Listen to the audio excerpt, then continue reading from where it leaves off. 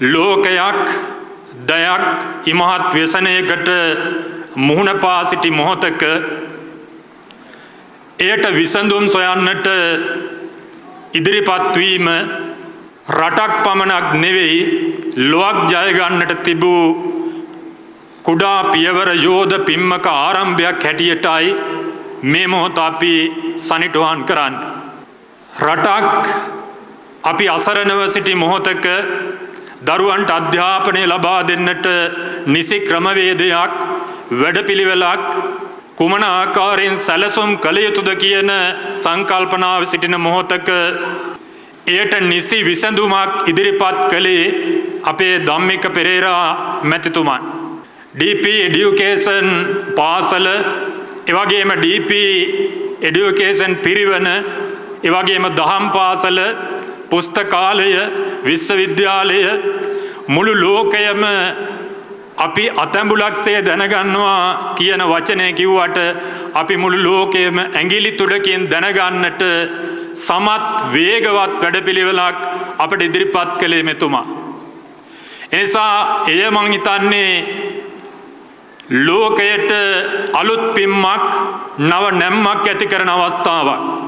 ලංකාවේ හැරෝම් ලක්ෂේ හැටියටයි මා මේ මොහොත දකින්නේ. ඒ තරම් වටිනා අවස්ථාවක් මේ අවස්ථාව. එමොකද අපි ඇනලොග් තාක්ෂණය ඉක්මවලා ඩිජිටල් තාක්ෂණයට මාරු වෙනවයි කියලා කියන්නේ සුළු පටු පිම්මක් නෙවෙයි.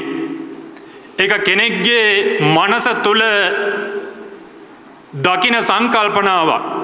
මේ තාක්ෂණය කියලා කියන්නේ ඉතාම වේගේ වෙනස් වන තත්ත්වයක්. ඒ තාක්ෂණය නිසිවිදිහට කළමනාකරණය කරලා භාවිතාවට යොදවන්ට පුළුවන් මිනිස්සු ලෝකෙ දුරලබයි.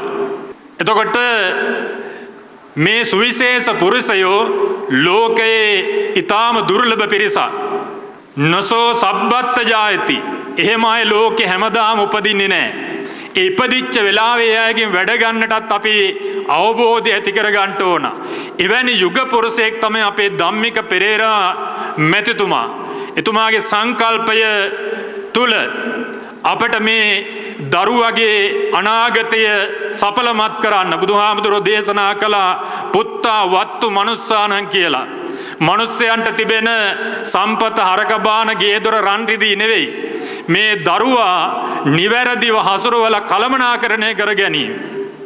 ඒක කරගන්ට අපි අම්මතාත් හැටියට අසමත් වනොත් මොන්න තරං අපංකං අපි කළත් අපි අසමර්ථ. නොදියුණු කියන්නේ ඕක.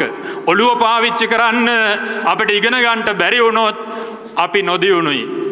මේ ඔළුවෙන් අපි තාම වැඩගන්න පටන් අරගෙන නෑ. පළමු පියවර ආරම්භයම ඉන්නේ. යෝධ පිම්මක ආරම්භය. එනිසා මේ සුවිශේෂ අවස්ථාව ඉතාමත්ම වටිනවා වැදගත් වෙනවා. අපි වන්දනා කරන චරිත ගෙදරදි වන්දනා කරනවා ගෙදර ස්වාමියා. ස්වගෘහේ පූජ්‍යතය මූර්ක. එතකොට ගෙදර වඳින්නේ මෝඩය හැටියටයි හඳුන්වන්න.